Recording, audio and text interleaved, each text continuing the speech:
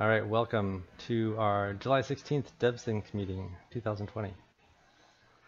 So, um, what should we talk about today?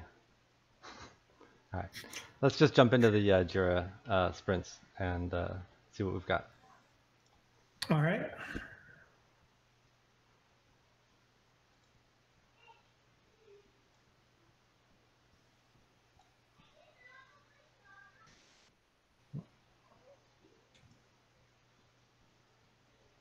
Can everybody see my Jira screen? All right. Uh, since Charlie is not here, I, Derek, you want to give an update on project rollover prototypes?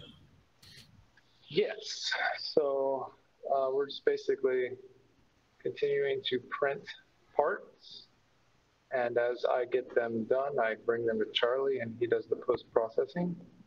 Uh, so as of right now, we're about 70, 75% done with the prints. Uh, anticipate being fully done by uh, the, the weekend, uh, by the end of the weekend.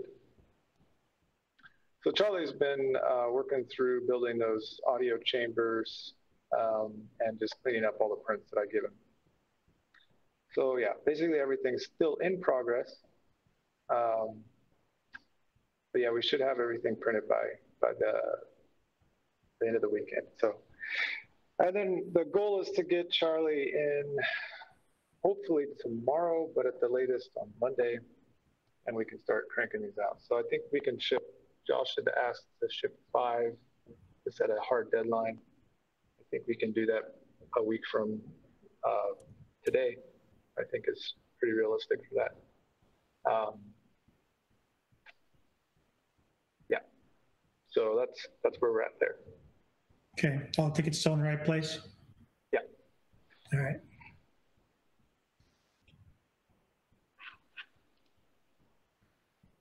Uh, Mark II first prototype? Yeah, so we moved um, a few things moved over here. So the system blocking update um, uh, as done. We've got the um, the uh, uh, the review of the repo and the post of the blog or the blog post, and um, what I've seen, it's been pretty pretty well received. Um, so there's a lot, there's a lot of little going back and forth on that. We kind of I think we talked about consolidating the repo, so we got that all consolidated into one Mark II repo, and so within that we will have um, all the Mark II related projects. So that includes the off-the-shelf design, which is what we're calling um, kind of retroactively calling the design that we've been working with, the one that uses the reSpeaker microarray. Uh, so that's abbreviated as OTS in the repo. And then moving forward, we'll call the new design that we've been working on with Kevin, the Mark II uh, RPI for Raspberry Pi dev kit. So that's that's what we're calling the, the project we're working on right now. That's all under hardware dash Mycroft dash Mark II. Um, so yeah, working to be a little better about keeping everything in one place. Um, but yeah, as far as day to day, I'm still working on the industrial design.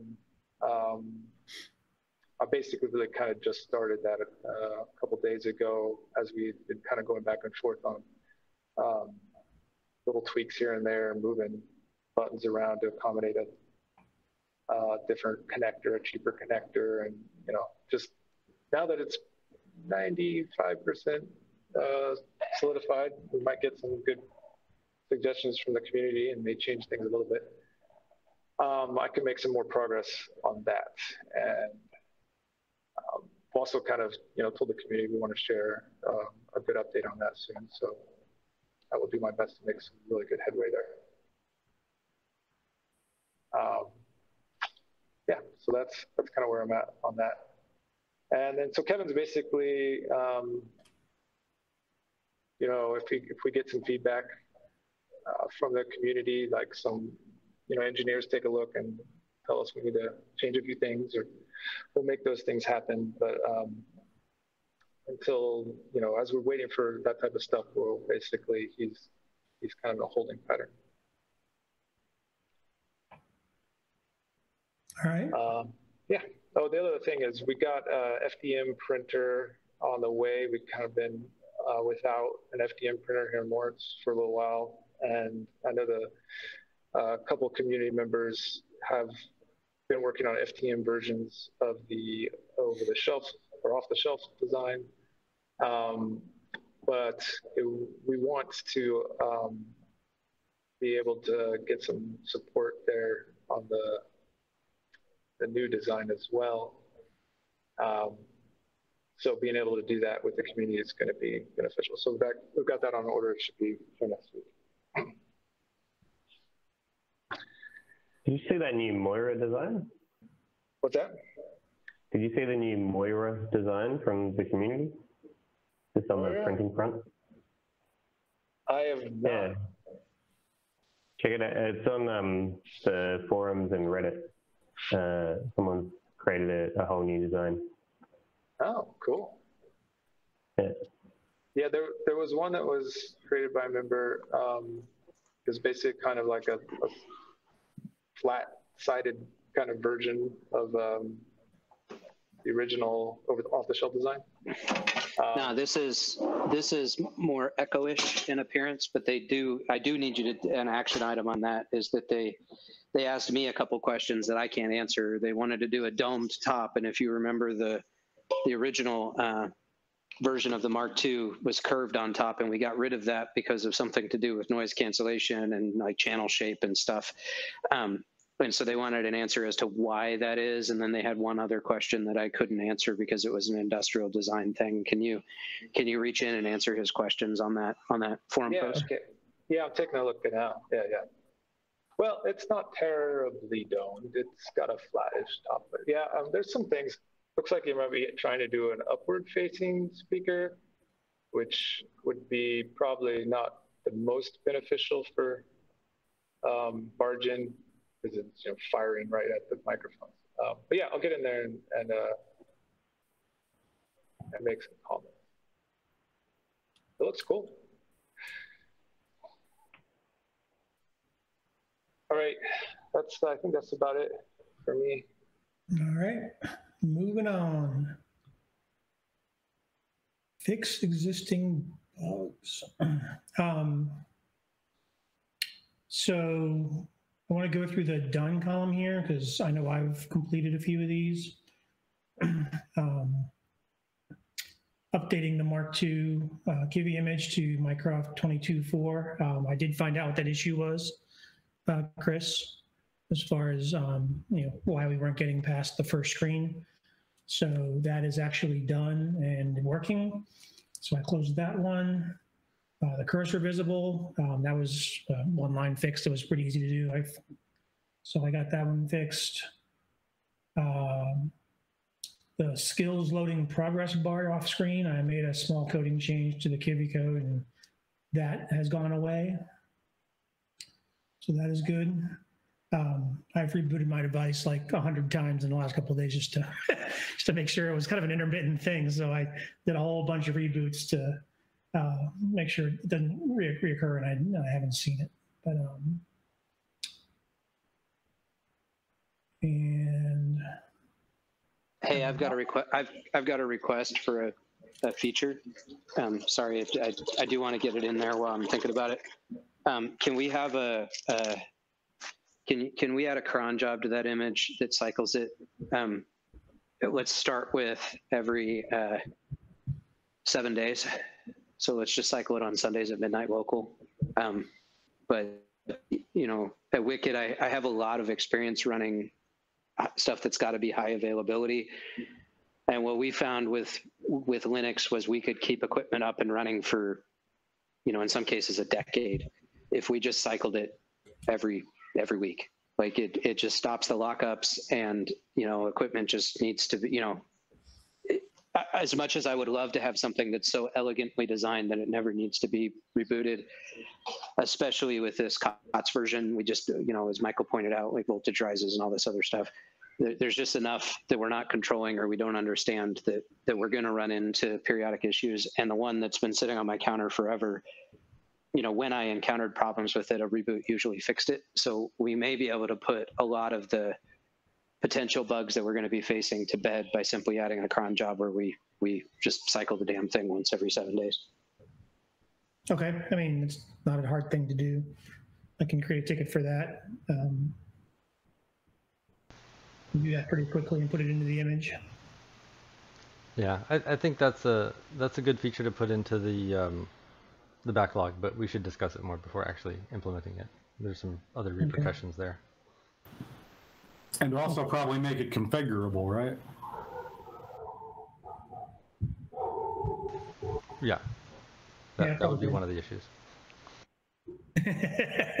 All right, I'll add it to the uh, to the backlog then. Uh, so right now, I'm. You know, I was also looking at um,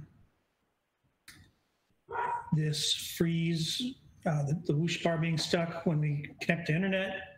Um, I think that was also fixed when I did the uh, progress bar fix. I have not seen that since either. So I'm probably going to go ahead and close that issue. Um, if anybody, you know, I'll, I'll keep rebooting it often, and if I ever see it, I'll I'll take a look. But um, This is MC108.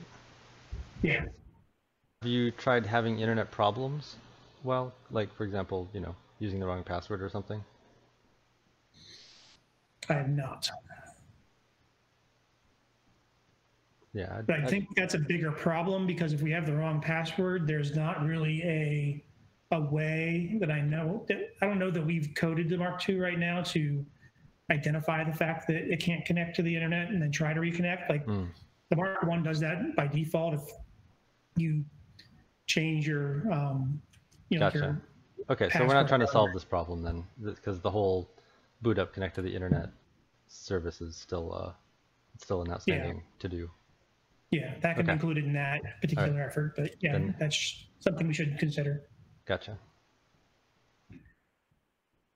Uh, Gez, we also closed a couple other issues, right? With, uh, I know I did some PRs reviews of- this week too. Yeah, yeah. So I merged a few things um, from the time scale and, well, yeah, a, a, a few skills. Um, and uh, let me just check close PRs. That'll be the quickest way. Uh, yeah, so there's fixes to the installer skill, timer skill, um, the skill, uh,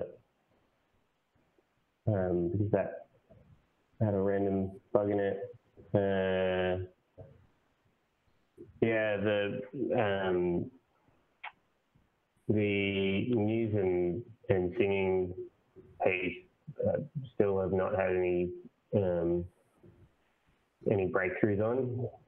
Um, so that's where the, the stop message is, is timing out in the Voight Kampff test. Um, so I'm still stuck on that. Uh,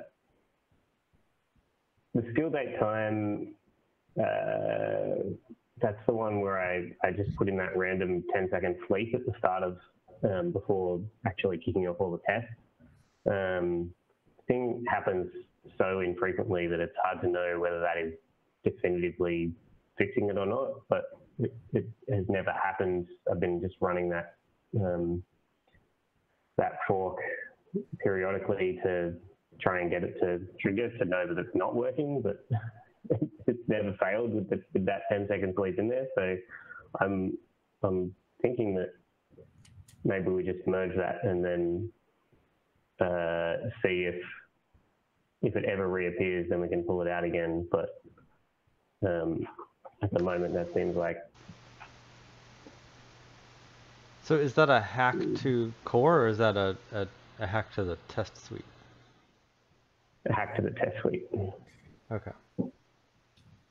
It essentially sleeps sleeps the test suite for 10 seconds after it thinks it's ready to start. Um, it sleeps for 10 seconds and then does the first test. Okay, and that's because if you if it starts too quickly, the skill date time test sometimes just fails. It's because the very first skill daytime test sometimes fails, and I haven't been able to work out why. Um, and so my assumption is that it's because something isn't ready in time, but I haven't I haven't figured out what that is. Hmm. But the fact that it was the first test in the entire test suite just sort of sent me in that direction, and then I haven't been able to get it to re-trigger with the sleep in there. So that is that is the entirety of the information that I'm going on. You know, Gotcha. haven't Well- spent, haven't, yeah. Uh, so do we have a a uh, procedure or a, a default, you know, sort of way of marking things that are hacks uh, rather than actual fixes? Just for the comment, Just put a- uh, Okay. is the usual. Yeah. All right. What do you just put in like hack in capital letters or something, or what? How do you do it here? Yeah, we should Um, probably make something we can search the code base for. Exactly. Yeah, yeah, yeah. Um, I mean, because often and you we'll- could reference the Jira most of the ticket, too. Most of the time, they're they're um, release based, and so you know we we can generally search for like um, comments that uh, include the next major release tag, like you know 2008.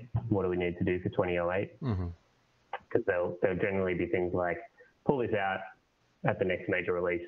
You know, once everything else is, is in place. Um, I mean, we can just do a, a hash to do. A, you know, pretty Okay. classic. Yeah.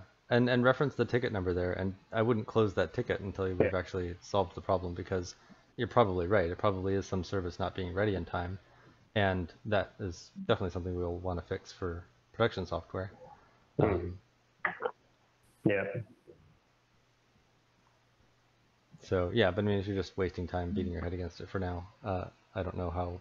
And you've got something that seems to sort of fix it, and it's only a test suite, Yeah, suite problem. I think yeah, I think this is just the, the easiest Yeah. way to validate whether this does fix it or not because it'll it'll then get run you know many many many times per day, and so if we never see it again Right. for the next two weeks, then I can come back and and dig into okay, what is that actual thing now that we've isolated where the problem exists. Right. Okay. Cool.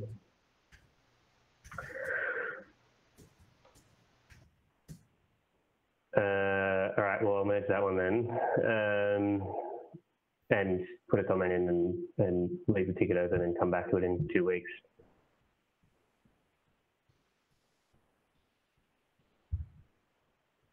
Uh, but yeah, I haven't gotten to a lot more. I spent a lot of time this week on the uh, that Mark II repo and comms and stuff. So Okay. Um, something else I wanted to talk about before Ken gives his precise update is SEL 38. Um, Gez and I have had a little bit of back and forth on this one. So when you try to create an account um, for an email address that already exists on our system, uh, you get a um, a 500 error and you also get uh, a message on your screen um, that says account cannot be created and it's an error message. Um, initially, we thought that this was a good thing. I mean, the 500 may not be the best return code for it, but we thought it was a good thing because we wanted the error, message not to say something like this email address already has an account in case somebody is phishing for accounts. Um, so Gez pointed out it probably it's probably a good a good solution to this problem, which is to be better about sending emails to people when they try to access their accounts. Um, and this would be one case where you know you tried someone tried to create an account that uses your email. Either it's a warning to them that something bad's happening, or a warning to them that hey, you already have an account. Let maybe change your password. Um, so I guess my question is, do we want to close this as, um, you know, works as designed, and then have another ticket that um, deals with what happens when you try to sign up for an account with an existing email address? Or do we want to just repurpose this ticket? Do we care? Uh, well, yeah, if it works as designed, then let's just close it and mark it and make a new ticket to design a better system. Is there a Okay. better error code that we can put out there? I'm just like wondering, you know, if, if there was an issue in the system and people are getting, like, it would be hard to know, is this a 500 error, genuine 500 error or an, uh, you know, engineered one? Yeah, why don't we, why don't we look at how other, you know, companies that have larger security budgets are dealing with this question? We either go into a few different company, you know, Reddit or whatever, and make this attempt and see how they, how they are handling it. Um, and then, you know, if we agree with their thinking, um, you know, handle it that way. I would argue that this is a rate limit thing, but, you know, the, the, the easy way to handle it is to to throw the message that says you already have an account, you know, and then as as Chris says, send that account an email saying somebody tried to access your account, uh, and then restrict the number of attempts that anybody can make on that page, you know, by one every five seconds or you know something.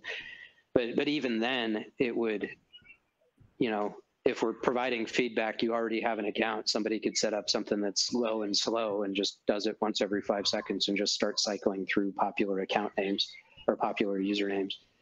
So anyway, summary of that is let's go hmm. see how other folks are doing it, and if we like their ideas, let's steal them. Yeah, so that was why I was sort of suggesting, like, from the front end UI, this email process is exactly the same for the person you like trying to sign up for the account.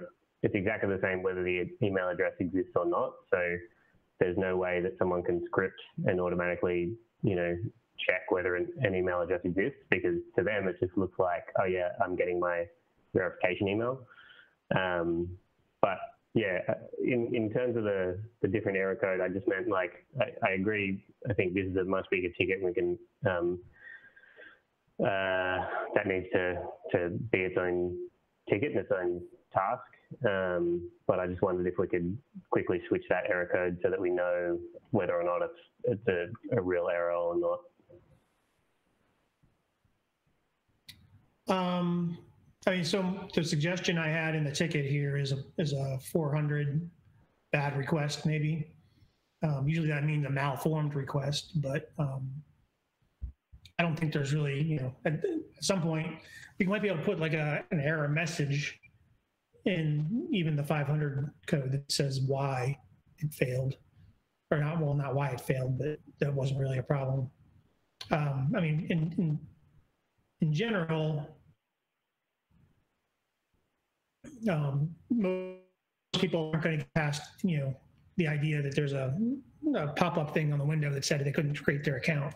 You know, we have a lot of special special users now that can get to those 500 errors and know and try to dig into what happened for us. But generally, people aren't going to be seeing the 500 error. They're just going to see the, the error that comes up on the screen. Um, so I mean, I, we, I could certainly look into that as a as a stopgap ish, just to not make it not a 500. So to be clear, this is an issue with our current GUI, uh, our the Selene backend GUI, right? It's not a API or anything like that that we're having trouble with. You know, it's the API that's returning the the 500, which is an internal server error, hmm um, and then the the UI uh, translates that and puts up a little snack bar that says an error occurred creating your account. So most users will see the snack bar and not look any further. Right.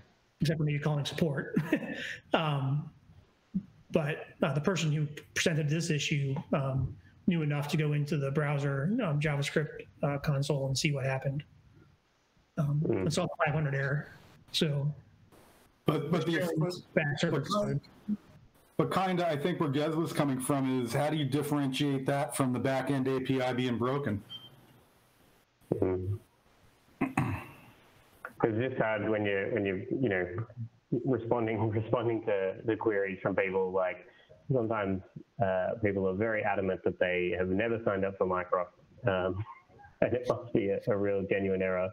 Uh, and you know you go back and forth a bunch more times, and then they realize that oh wait, they finally did follow the instructions that I sent them the first time and tried to reset the password, and everything's fine now. Um, so it's more just like how do we shortcut that process? Um, so if there was a different error code, I could be like, well, I can guarantee you if you're getting a malform, well, I can be very confident if you're getting a, a 400 error or something, then um, then that's because you already have an account or someone else has created an account, you know, using your email address or something, you know. I mean, it's, so basically, I mean, it is really works as designed, right? The it is designed such that people will get a cryptic error message, so they'll reach out to customer support, and then Gez gets a personal email. Like that's the system that Chris Veilleux is, you know, describing, right? And so that's how Yeah. that's how it's working. Yeah. Yes, it works, it works as intended. So it sounds like uh, Gez does not like this system and wants a new system designed. He, he doesn't like how it was intended to work. Right. Yeah, the problem with doing a 400 is there's other things that could cause a 400, right? Okay, well let's. I don't So, why hey, you just can't return a regular 200 and say that account's already in use. I don't get it. Well, because then you- if somebody looks in the in the console, they'll see that, and then they'll know that. I mean, that's the whole reason this is the way it is now is because we don't want people knowing that they found an account that exists. Well, all right. I mean, um, yeah. security It through just obscurity is not generally a good idea. Amazon will tell you flat out that account's already in use. Yeah, that, but that's half the battle. So like half the internet, you know, has you know ex- extensive password reuse, right? So they they may have a strong password, but they use the same password across nine thousand different sites. And so once the hacker has identified that that email address has an account on our system, they can load one of these, you know, multi-gigabit password files that have been hacked from Yahoo and whoever else, find that email address and say, oh, his his password at Yahoo was, you know, whatever, one, two, three, four, five, bang. And then they try that on our system and now they're in, right? And the you know, the the piece of information that they needed to close that loop was whether or not the account even existed. And so the you know the solution to that is to not communicate to random hacker when they try to put in an account that the account already exists in the system.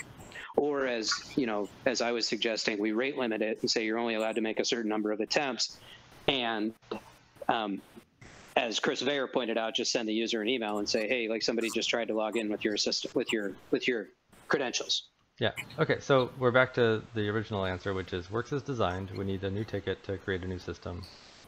Okay. Correct. All right. I will close this one then and uh, take Chris's comment to start um, in this ticket to start another one. So yeah, I mean, guys, I don't know how much of a pain this is for you, but yeah. Okay. So we've already spent too much time on it. All right. Moving on. I was going to say we probably spent too much time on it already. Apologies, and apologies to everyone listening after the fact. We'll we're, we'll we'll get better. All right. Uh, so I'm probably going to start working on these two uh, volume settings. I found some stuff in the Mark II um, Mark II Pi image information in GitHub and how they build the old Mark II. And there was some commands in there. Um, Hey, for Ken, can you mute? Oh, is that me? Sure.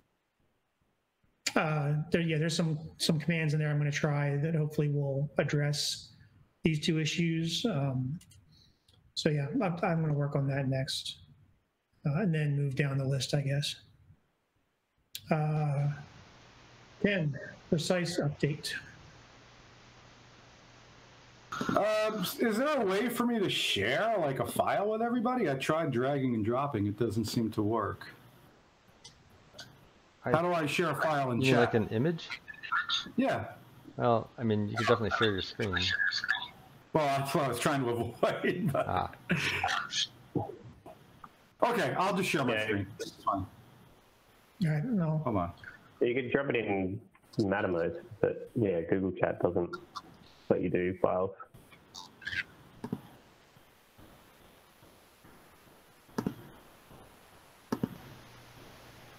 There, I've uh, Oh, this is. I've obscured with the uh, is- the yeah. recording until you uh, can guarantee you're not showing your password on the screen that you're sharing.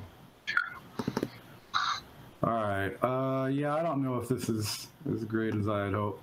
Can Can you see that at all? Yeah, I can see a Part of it.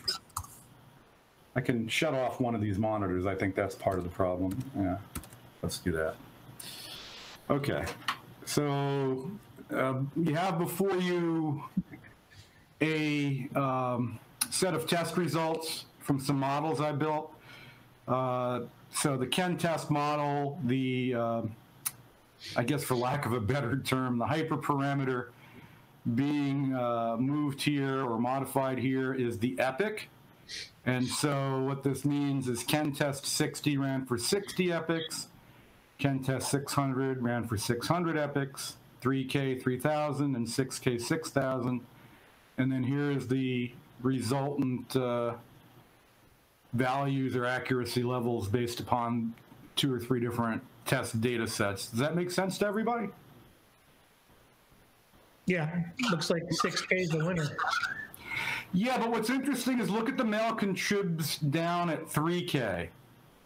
So it's almost like you reach a point of diminishing returns somewhere around there. You get a little bit better performance um, if you go to 6K. But that's just to show you some experimentation. And the model I would probably give to initially would be the Ken Test 6K. Does that make sense? Yeah, I mean, the numbers But if just if you're just cycling through tests, you can do 3K and do it in half the amount of time, and then when you find the parameters that you're really looking for, then you can bump it up for the final Yeah, model. Is that I would, yeah, I would say that's fair. I'm going to stop presenting, by the way. Um, yeah, I think that's fair. I've been looking at, um, obviously, getting a little more knowledgeable on uh, the internals of Precise than I had expected.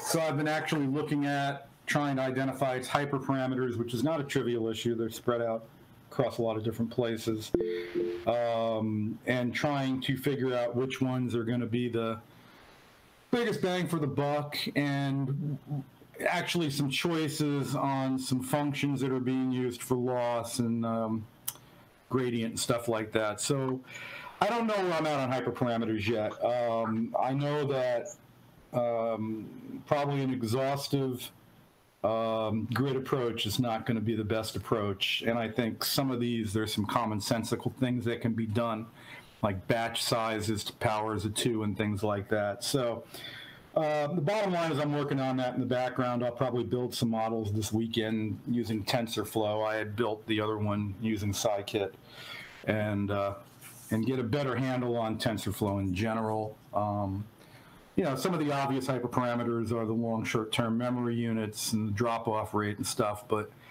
uh, and I just haven't gotten there yet. Uh, I was building that that what I just showed you. So I've been looking at that. I Um, provided I provided a, a name in the chat, which is TensorBoard.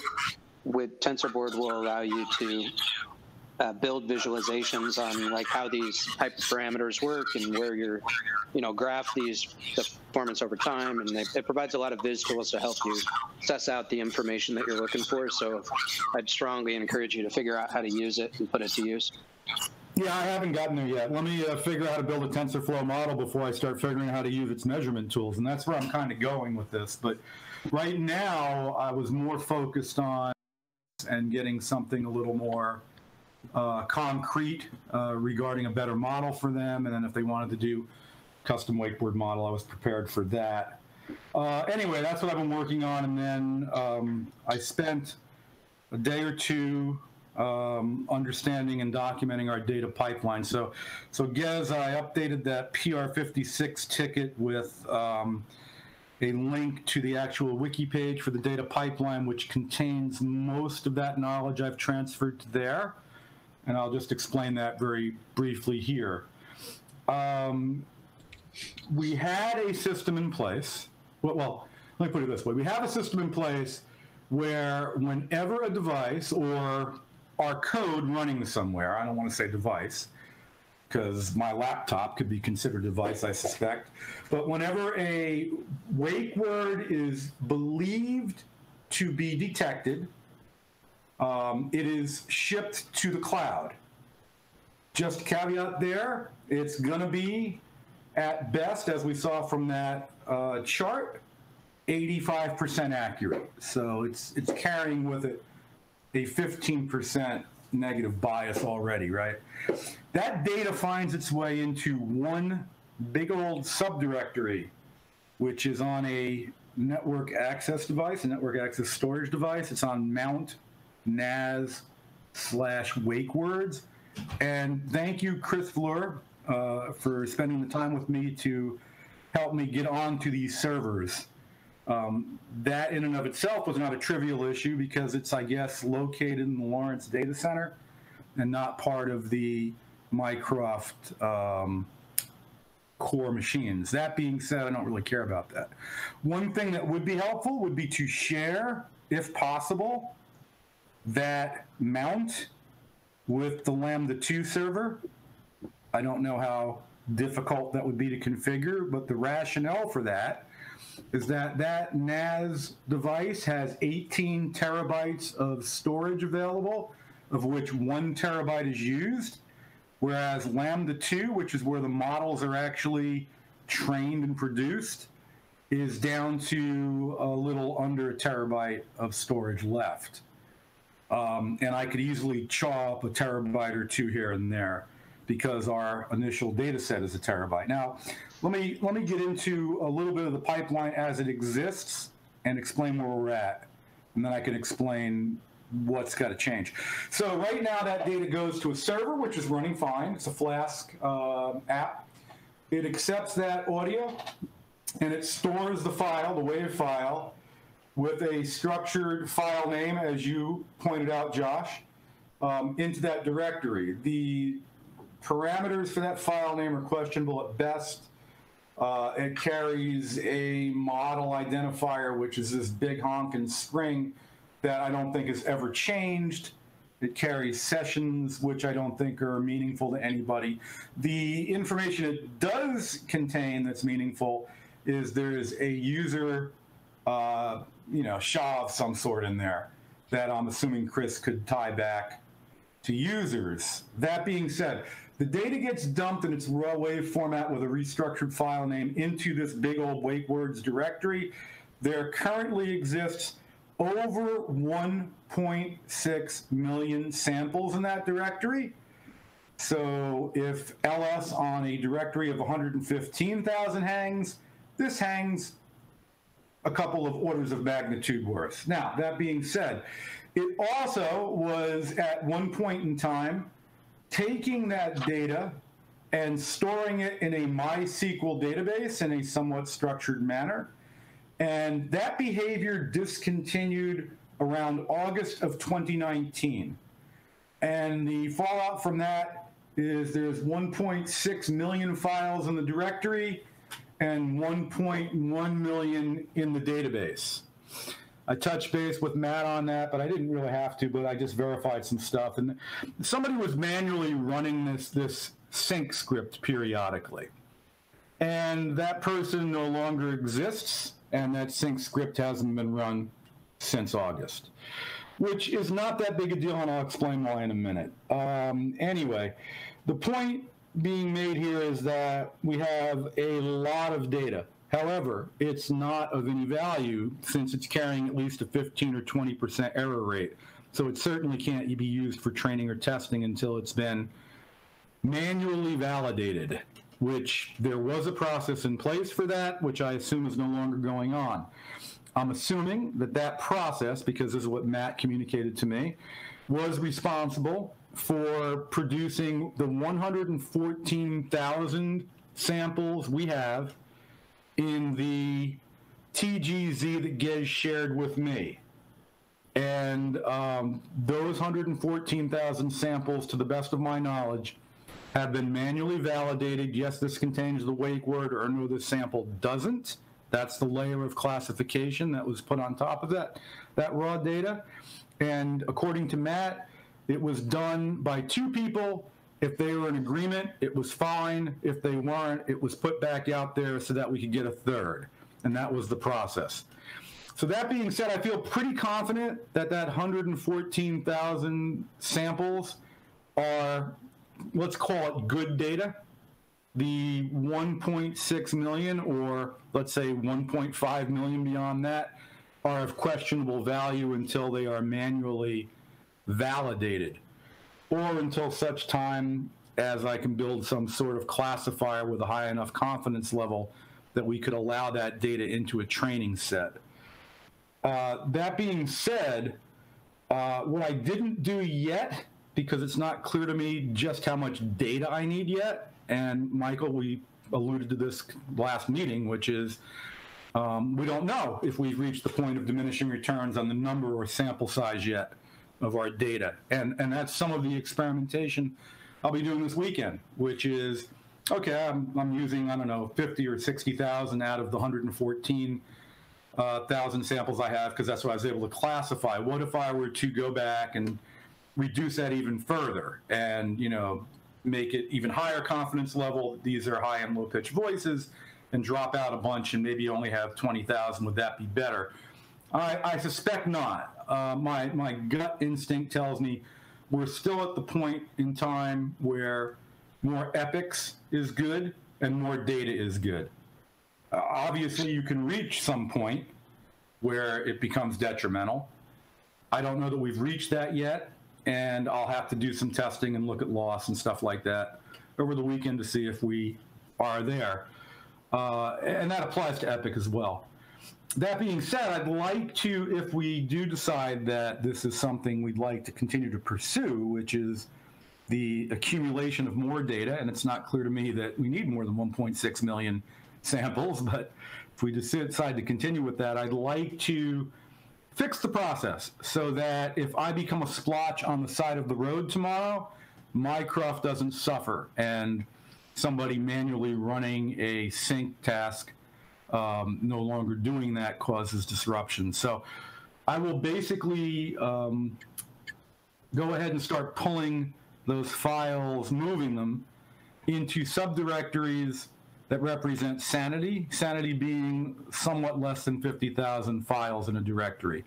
If there's less than 50,000 files in a directory, you can ls it, you can cat it, find will work as advertised, um, and it doesn't take hours to come back from a uh, an ls or something. So, you know, I'm going to break them up into subdirectories of no more than 50,000 files in each one, and modify the current process to have a cron that runs every night that would move today's samples into the, the latest directory until such time as that directory reaches 50,000, and then create a new directory and start sticking them there. Uh, not a major problem, uh, but you know something that I, I think might be worth it if we decide to continue to collect samples. Okay, Uh, when you when you throw that ticket, can you do me two additional favors? Um, one is uh, um, one is uh, DU the disk, and make sure. Uh, well, as part of this nightly process. Uh, Oh yeah, yeah, okay, yeah, sure. So I've I've had trouble in the past with people not not pruning databases and stuff and having them do computers. So, you know, as part of this process, you should DU the disk, and if it's getting too close to the end of the disk, it should stop doing it or delete the oldest one or something. But it should not just keep filling it until the computer locks up. And then number two, if you could look at FLAC or some similar lossless compression mechanism and um, you know crunch those waves down into something that's that's easier to store, um, we may be able to save quite a lot of storage space.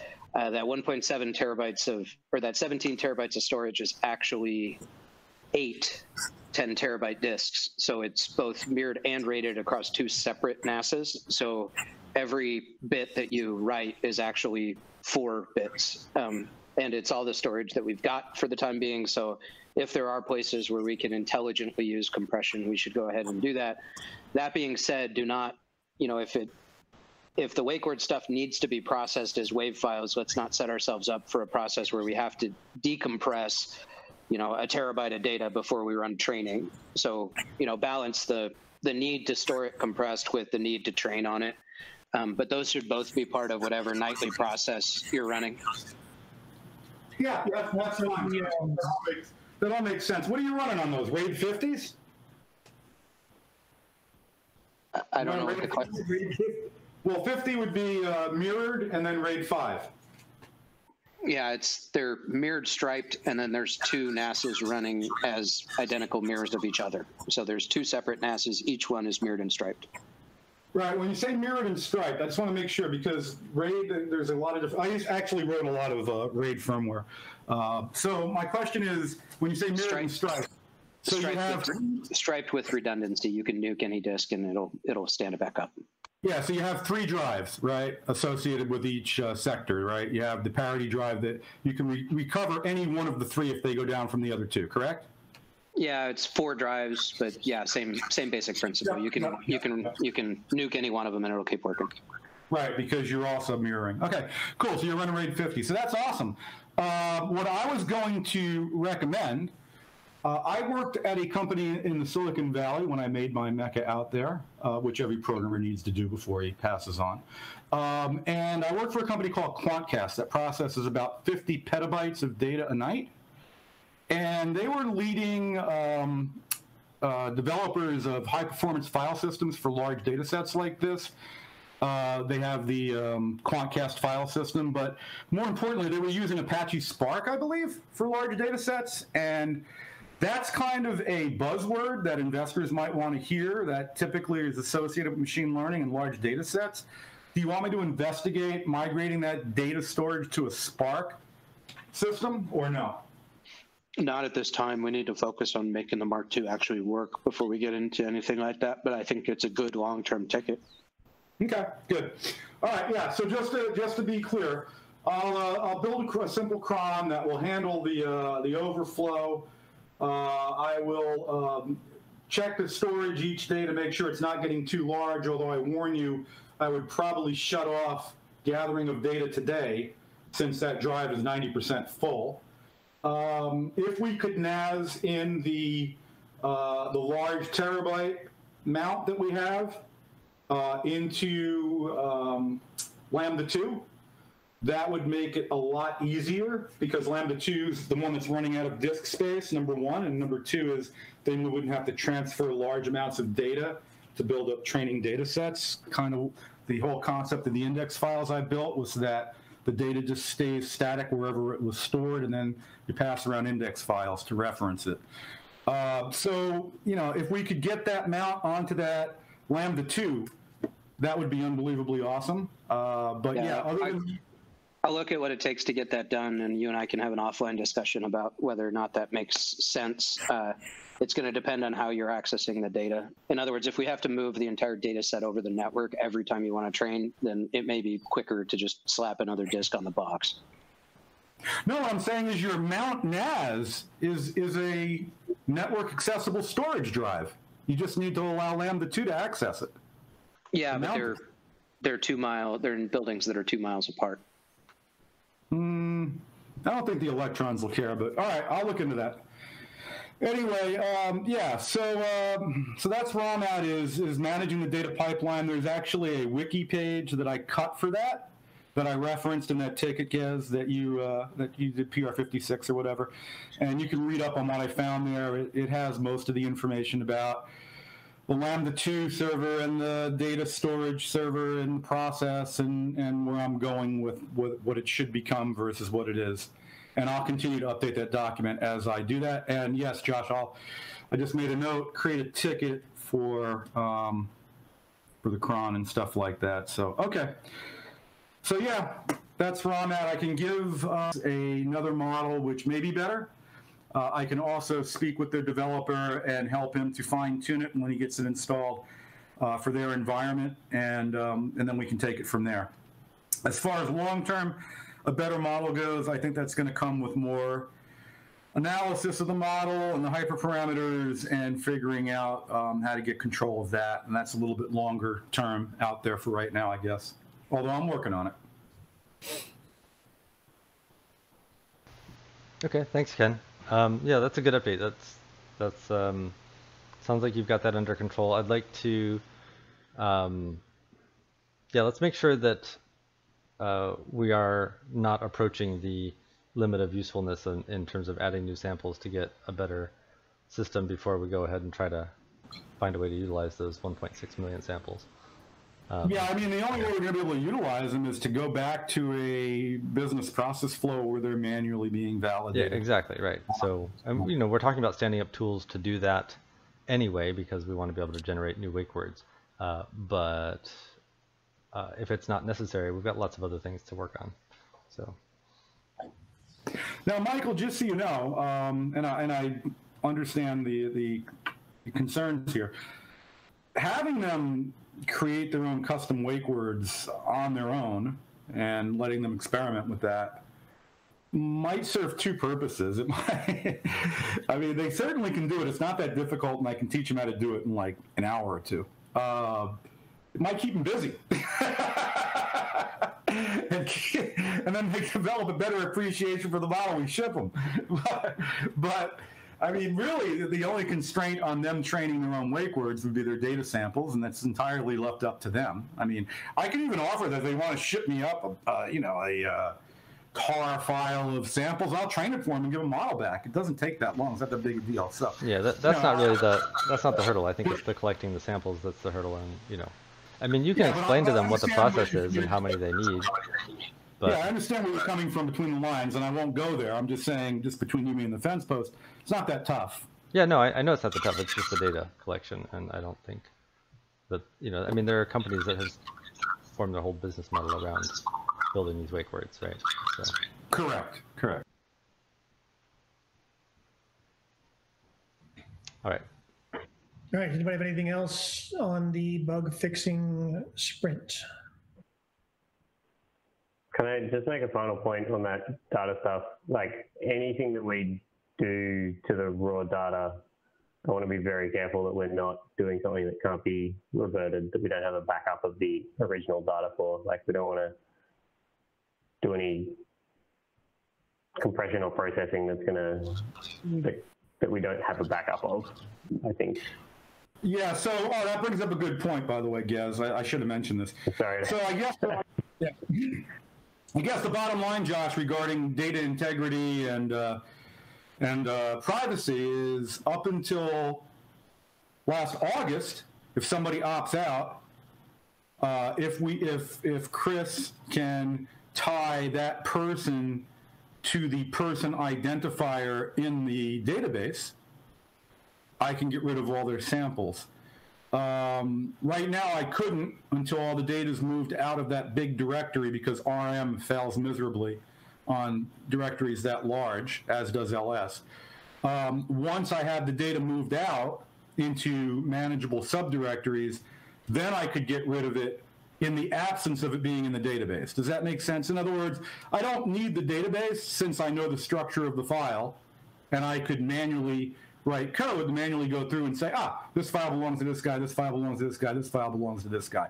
Obviously, be preferable to say select file names where user is blah, but you know, again, that's only going to cover up until last August. So once I get the data moved out into little subdirectories, I could certainly do that. Today, I could not guarantee you I could whack somebody's data if they asked us to. If Yeah, I can. I can. It's you just you string together a bunch of Linux commands. It's it's very doable. It's I can never remember the exact syntax, but I just put a link up in the thing. You just search Stack I Overflow. for- documented, I put my scripts in the precise wiki as well on Confluence. Yeah, so it's it's available. It's it's just you can't use the out of the box tools. You kind of have to work around it. You know, Ken, you could use the file names as a guide regarding how to organize the files. And then if you did like directories that took some of the filing parts out of it, you sort in the file name as well. No, no, no. I, I understand. What I would recommend is Gez and Josh, whatever you guys sent me, just go try it on your 1.6 million uh, file directory uh, and see what it actually does. Yeah, I can use head and stuff like that, but and I've definitely done. I mean, I actually you know wrote Python script. That's how I know I can tell you there's 1.6 million files in there. But if you're going to try to use sed and awk and grep and all that stuff on that directory, good luck. Okay, moving on. Oh, well, it does sound like um, there is a missing piece of our process here that's been highlighted. Since things are no longer in uh, being added to our database, and um, if we, you know, we're supposedly have a system whereby we delete people's samples from the database if they turn off their opt-in, right? Um, have we been doing it? Do we have a system like that that is actually executing right now? Not, Not to autom- knowledge. Not automatically, but as far as I know, nobody flipped that bit, so we could go back and check. Right. Okay. Well, yeah, we should create a ticket to actually implement that system if it's not currently running. And we're not Yeah, sharing uh, this So data set a- with anybody outside question the in terms company. of like, should it be if someone turns off opt-in? Does that mean that they are stopping opting in from now on, or does that mean that we delete all of their data that they ever mean, contributed? From a business rules perspective, we want to nuke everything we've ever touched from that that end user. So if you hit opt out, your data's gone, right? Um, as quickly as we can do it. Um, the yeah, So Ken, when you're building, Oh, consider still building them Oh. Based on account ID because that way it would be very easy to find um, an account. Right, instead of having to trans transverse 1.6 million subdirectory or files and subdirectories, we could just find a subdirectory that has that account ID in it and just blow that away. Well, yeah, I don't know that I was gonna. I'm not sure how I would want to partition the data yet. That was something that I was considering late last night before I went to sleep. Um, you know, but for right now, I was just going to start moving 50,000 at a time into directories. All I was getting at was if somebody said today, whack all my data, I couldn't. Once I get it broken out into directories of less than 50,000, I could. But today, I could whack all their data up until last August. That's all I'm saying.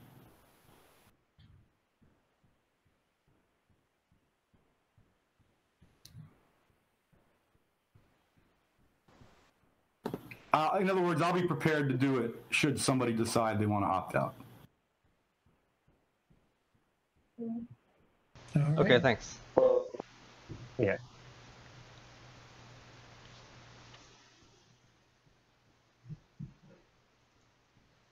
Okay, uh, Mycroft Sprint 12, which is a kind of our bucket of things that don't really fit anywhere else. Uh, Selene 68, I am going to, I have not seen any problems with the Selene uh, release that's in test. So my plan is to tonight move that to uh, production. And then um, once that's been running for a little bit, to add these new uh, metrics into our uh, new metrics website. So uh, this should be done soon. And while I'm doing things tonight, I'm also planning on doing this WordPress production droplet upgrade as well, since I'll be uh, doing things after hours. Um, so that is my plan for tonight. Hopefully those two will get um, will get closed. Uh, upgrade Mattermost seems to be a new one. Is that, guys, did you put that one in there?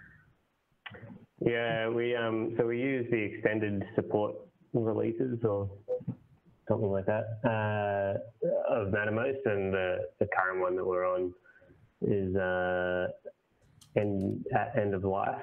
Um, so there should be a new one out. It should have been yesterday. Um, I haven't checked if it's actually been released, but um, that should bring us through to to mid 2021. Um,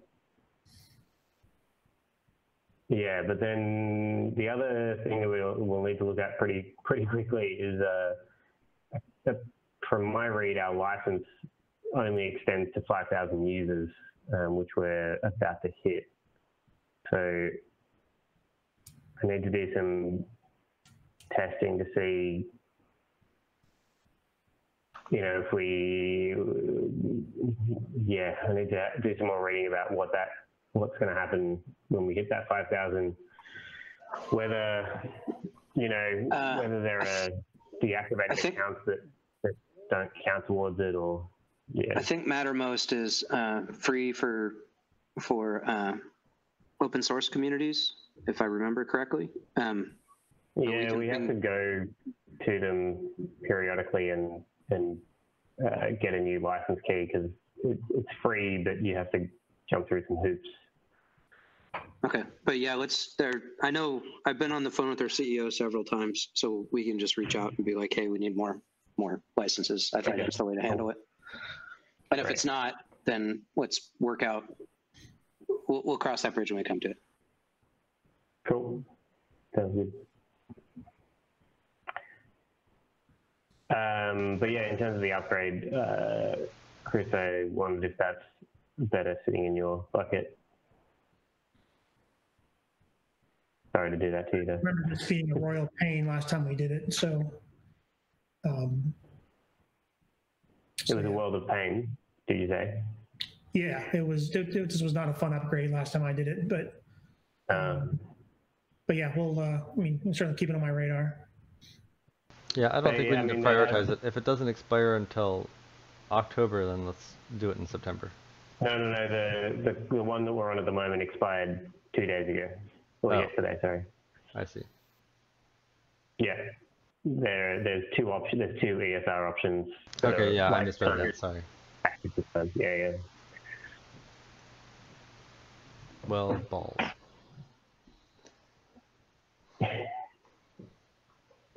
But yeah, I mean, I can Yeah. look into this, Alright. if since it's already expired, I can, I mean, does it not? It's no longer supported. Does that mean it's not going to work, or is it just it just means. No, it just means, like, it if some- then it help us.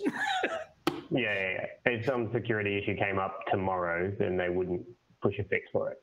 Okay. I think we can probably safely delay this. We don't transmit any secure info over Mattermost, right? And Not intentionally. All right.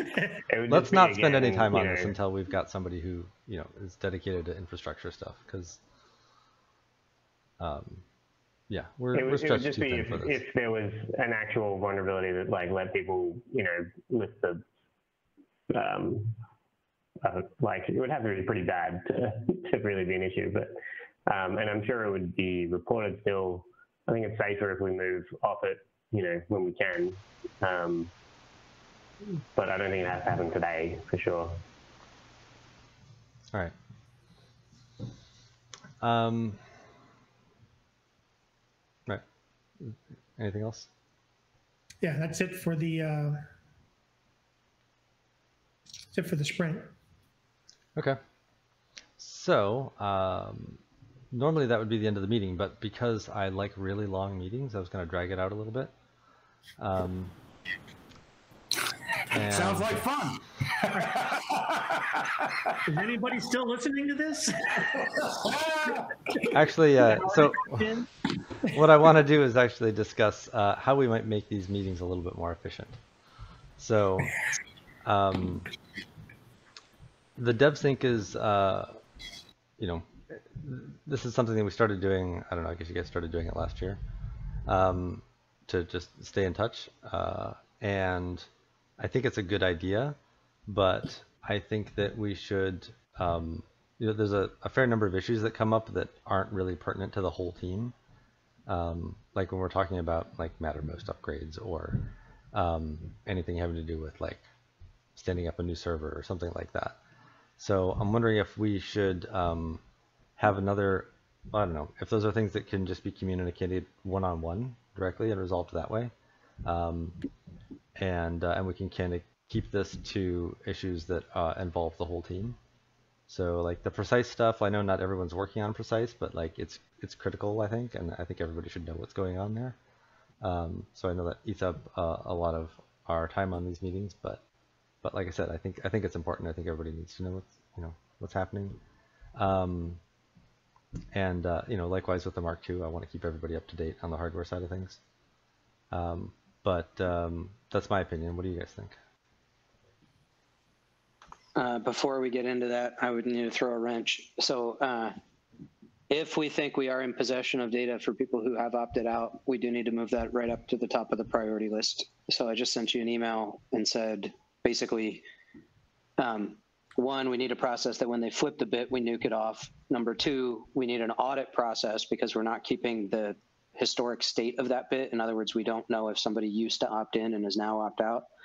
We need an audit script in case that fails uh, at the time they hit the button. So if they hit the opt out button and for whatever reason our systems are down or they don't communicate or we have a bug or whatever and their stuff doesn't get nuked, we need an audit system to come back through every 24 hours or 48 hours, verify the states of those bits. And then if there is something in the directory that belongs to that user who has now opted out, we need to reach out and nuke it.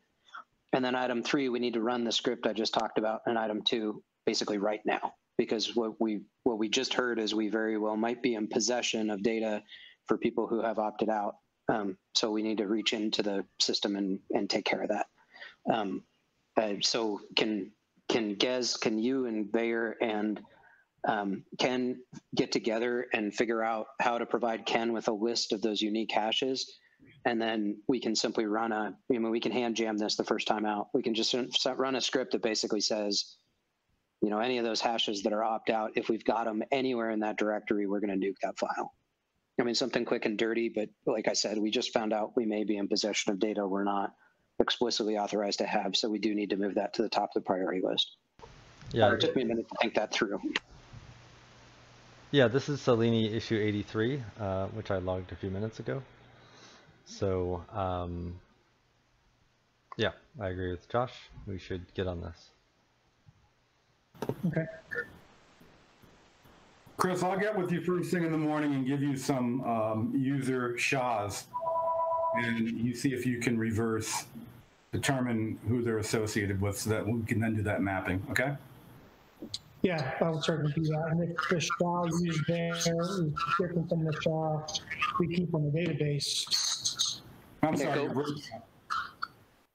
we'll need to, I'm not sure, we'll, we'll have to figure something out because if we can't backtrace that data to whose it is, um, it'll be a big problem. Yeah, I'm thinking we can. I'm thinking we can. It's the account ID that's coming from Mycroft Corp. Okay. Yeah, my if I wrote it, there's a good chance that two things happened. I grabbed the account ID and then I wrote a salt to it, so it's non-reversible, and then I hashed it. So you need to find the code where I salt that and figure out what the salt string is in order to figure out who it is. Okay. I almost, I al- if I wrote it, it's almost certainly salted. Well, that's uh, that's going to make it a little more challenging, Chris. Yeah, find the code. The salt string is probably static. Um, so once you know what it is, it'll be easy. But um, otherwise, it's easy to run collision attacks against it, right? If you don't salt it. I yeah, I I'll double check. I do not think it's being salted. Um, I think it's just plain. Hey, this is the account ID. This is the session ID. This is the time. This is the model identifier. Bam, concatenate them. Dot wave. I'll uh, Okay. like I said, Chris, I'll get with you in the morning on that and give you some samples, and we'll see where we can go. Okay. Sounds good. All right, then I guess that concludes our meeting for today. Did we decide how we we're going to shorten this meeting or did oh, we? you're right, we didn't. Uh, well, I was gonna I was gonna shorten it by ending it, but Again. You want to, you want to cancel the meeting already? I thought we were going to extend it. Uh, so I think, so my input there is part of this meeting was to keep you, Michael, up to date with what's going on. Um, mhm. in Oliver.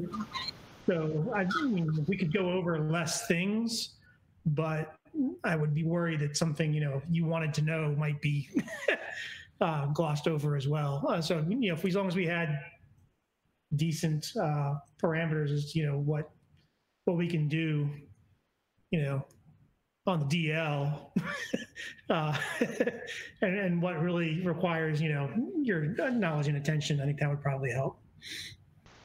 okay. Well, documentation is good for that. You know, emails. It's easy to CC somebody on that. Um, if you know discussions that matter most, I can see those. Um, How's about a radical idea? I'm I'm down with radical ideas. What do you think? During this meeting, why don't you spend no more than five minutes a person? Tell us what you did yesterday, what you're planning on doing today, what you're blocked on, and if there's anything that's really worth sharing with the rest of the team that you've learned. And then we can keep these down around a half an hour.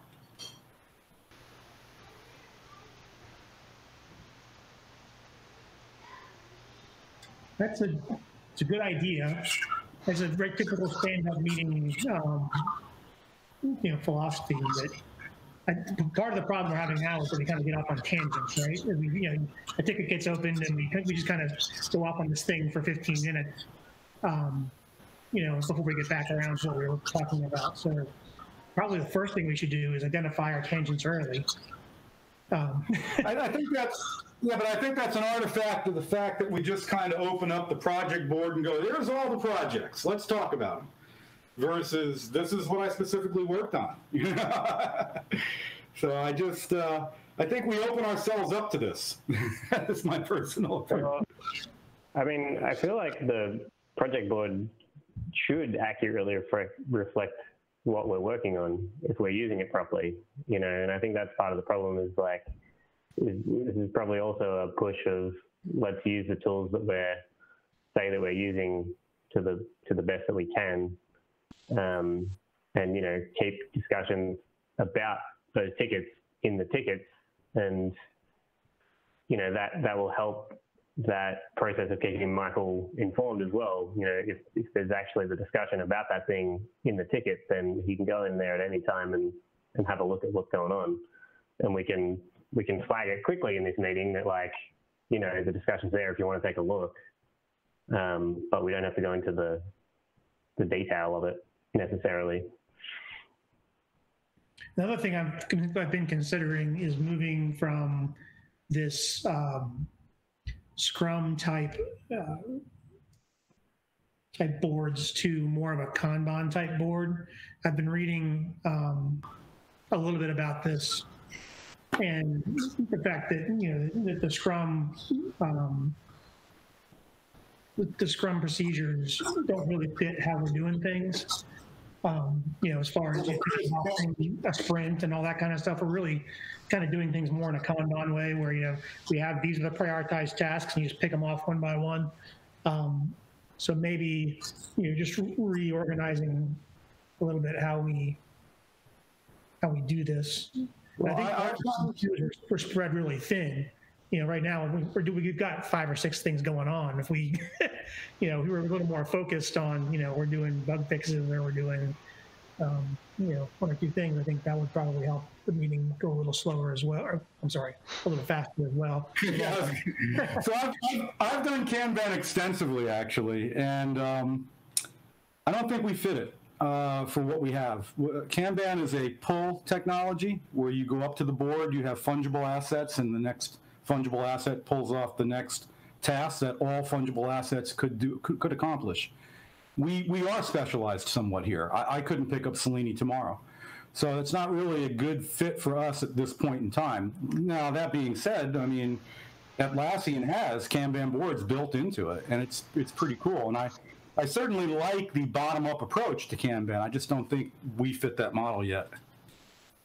Well, I mean, you, you could pick off the next tick ticket that you could do, right? I mean, I understand the, the idea behind it that anybody could pick off any ticket, but in our reality, you know, you pick off the next ticket that's the highest priority that you, you know, you could do.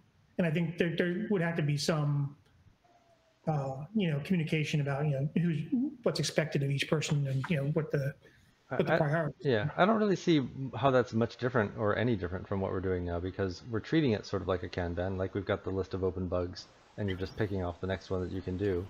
Uh, but we've also Well, divided it into projects because some of these projects are discrete.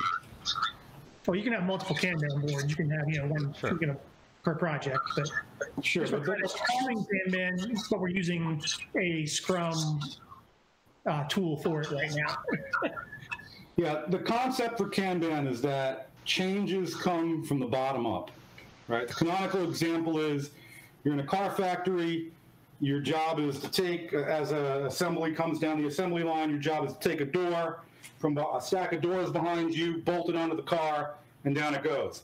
And you turn around and you notice you're out of car doors. So now you have to go and pick them up. And maybe one of the recommendations you would make in the Kanban meeting was it would be better if there was a blue ticket four doors down. And when somebody saw that, as they were making their rounds, they would magically replenish my door supply so I don't have to continue to do it and take time off going over and picking them up and forklifting them over and getting resources. But it's a ground up recommendation for how to improve the process flow. And I just don't know how that applies here.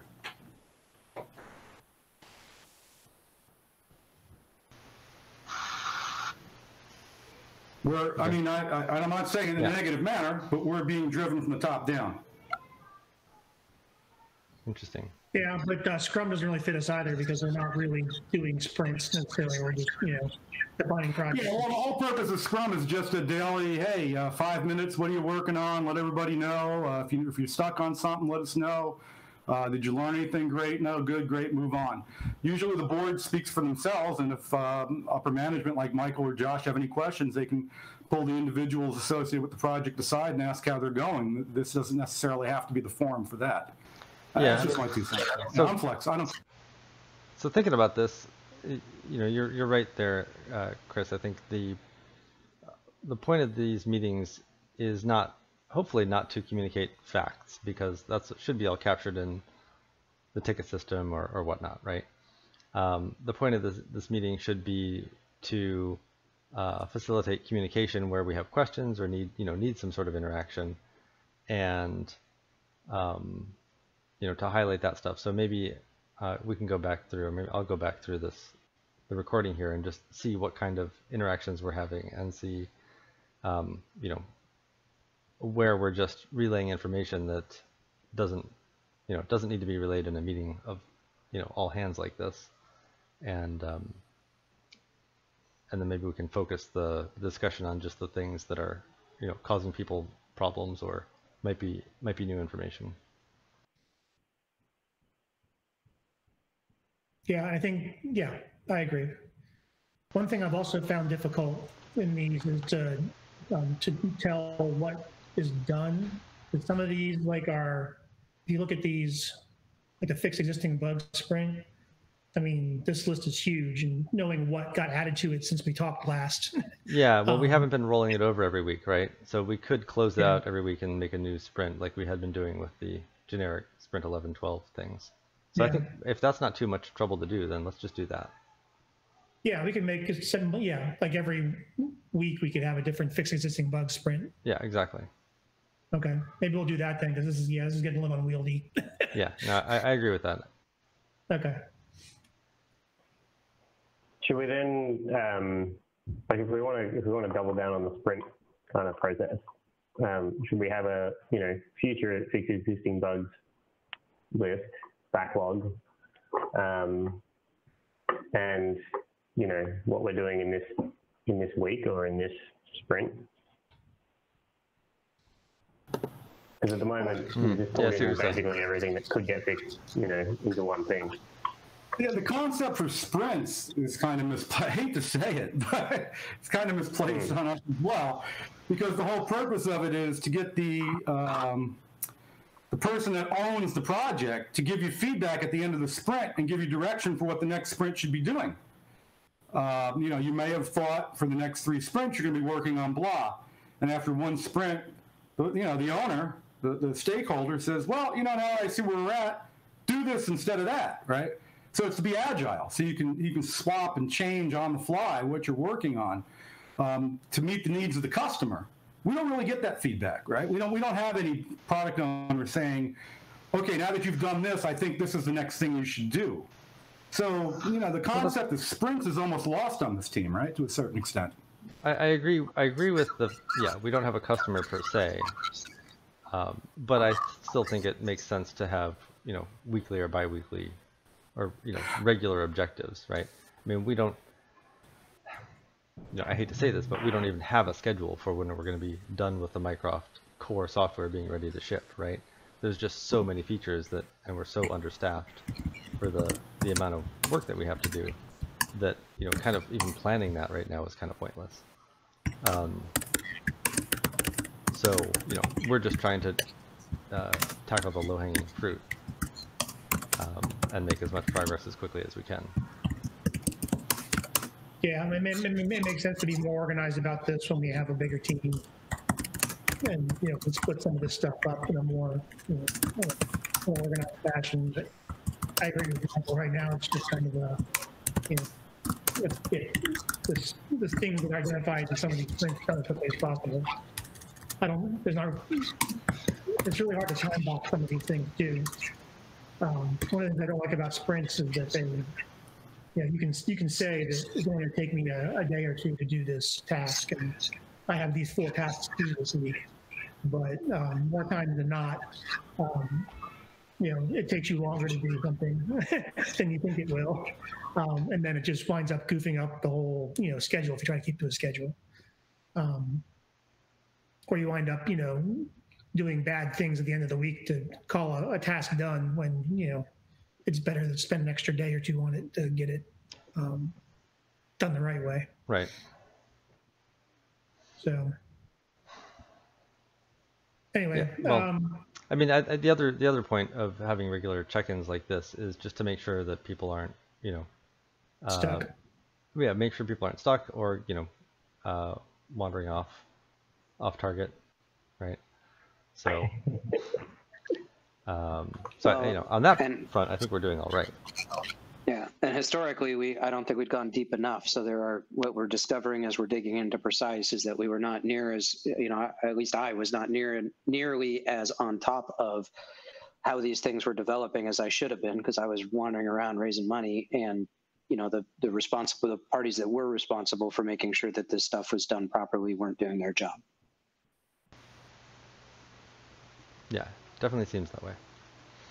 So, all right, um, let's let everybody go, and um, we'll uh, probably try something a little bit different for our next meeting. All right. Sounds like a plan. All right.